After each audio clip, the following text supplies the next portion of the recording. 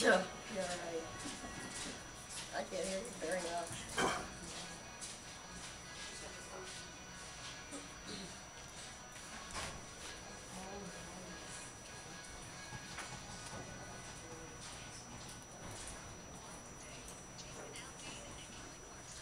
Ninety-six point one, KIX ninety-six, KIX Cares for Kids. It's our eighth annual Radiothon.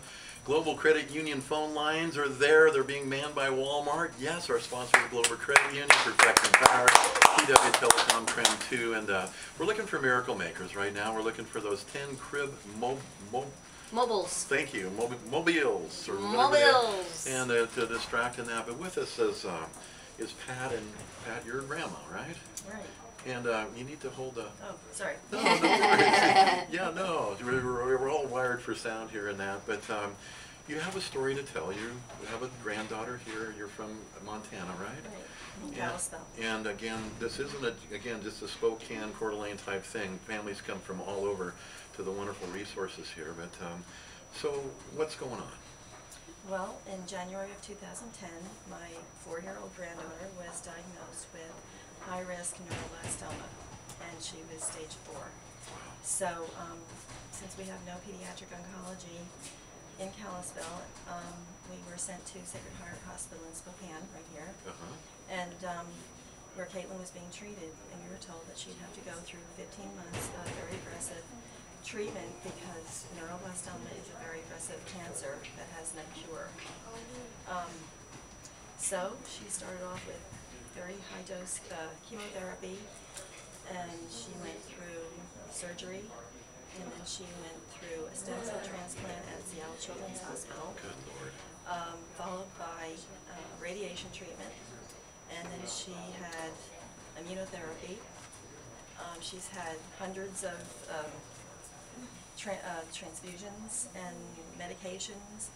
Uh, she, however, at the end of her treatment, the day before she was going to get her central IV line out, uh, we were told that she relapsed already How, how, how do you, how do you deal with this? Your, your grandma, by the grace of God, gotta have a higher power, right? definitely. Cool. So what's happening now? Well, Caitlin um, had to go back into treatment. We went to Sloan Kettering, New York, and she, uh, they had some hope for us there. She, they were able to, um, they were able to gain a second remission for her Oh, with some more chemotherapy. She lost her hair again, and uh, then she had two antibody treatments. But at the end of her second antibody treatment, tests showed that the um, cancer was back, and it had spread through her body. And she has um, a brain tumor about the size of a lemon, and it's pressing into her brain.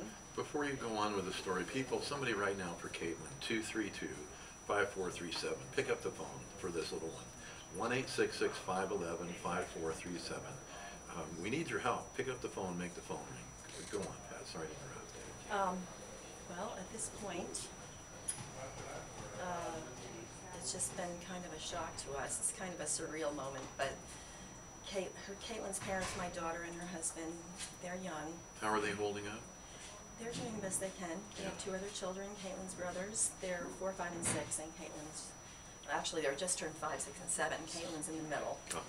And um, Caitlin hasn't been home very much, and it's been kind of a very interesting family situation. But anyway, Caitlin's parents have had to make a very difficult decision, and they've decided no more treatment. So right now, Caitlin is um, spending her final days here in Spokane. She's not gonna make it. She's not going home. And uh, we had a chance to go home last weekend and say goodbye to all of our friends. Uh, there's many people who love Caitlin very much. She's in kindergarten. I just went to her class and they have pink roses on her locker and they're all praying for her. And uh, anyway, she's upstairs and she's in her final days, but they're keeping her as comfortable as possible with pain medication. And um, she's a very sweet little girl. And if you go in her room, she's pretty drugged up right now, but she'll look up at you and she'll say, want a Dorito? They're so strong, but, uh, um, how has the hospital helped you through this? How, how, Well, I think we've been very fortunate to be here. At first, we didn't want to have to be here because it's so far away. It's a four-hour drive for us. But looking back now, I realize that this is the best place we could have been because, um, they've just provided a really, um, great facility.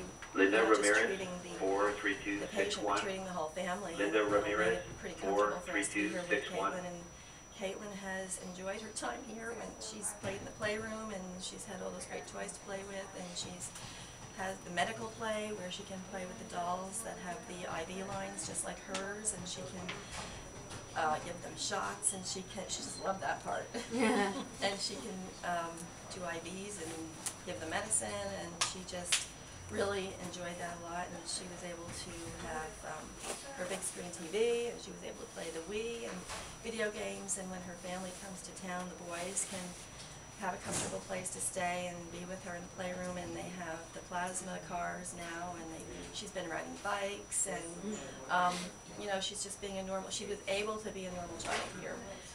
You're, an- from you're incredible. You're an incredible person, you know that? Grandma, Really? no, really. no, really, people. You to this is hap- This isn't a story. This is it's happening right now. Two three two kids. Call two three two kids. How important is this? That other families have this support, and I. I feel so bad for you. It's hugely support, um, important. Um, and it's important for families to be together with their children.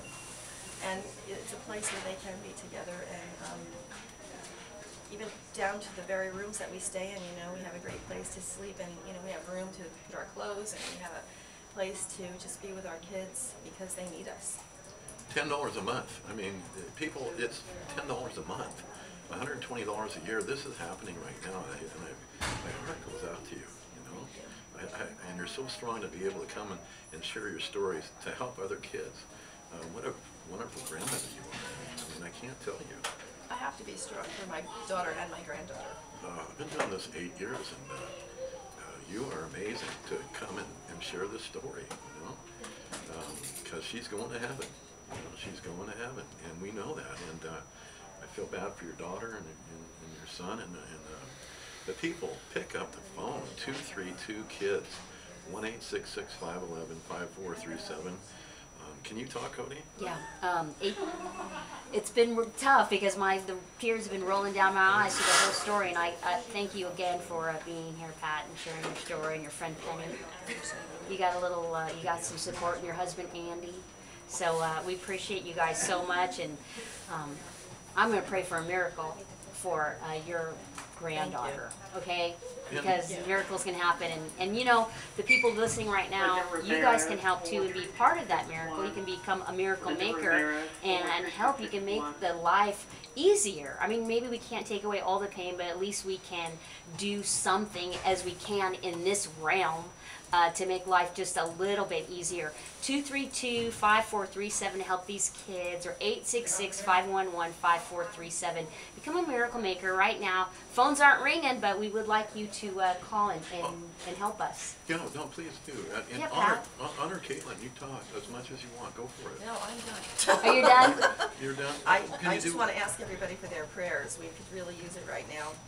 Our family, my daughter and her husband are going through a very hard time, but your prayers will really help us. And for Caitlin and her name, 232 Kids. And God bless you. You're amazing. You're amazing. KIX Cares for Kids.